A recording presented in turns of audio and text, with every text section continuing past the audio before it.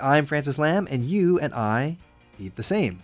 That's what a book from Chris Ying supposes anyway, and we will debate whether or not that's true, why it matters. What is he even talking about? I don't know. We have a story about a legendary burger place that makes its customers eat the burgers the same way.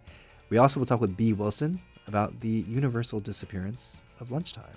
And we go to Japan for a very buzzy tradition. You will see what I mean this week on the Splendid Table.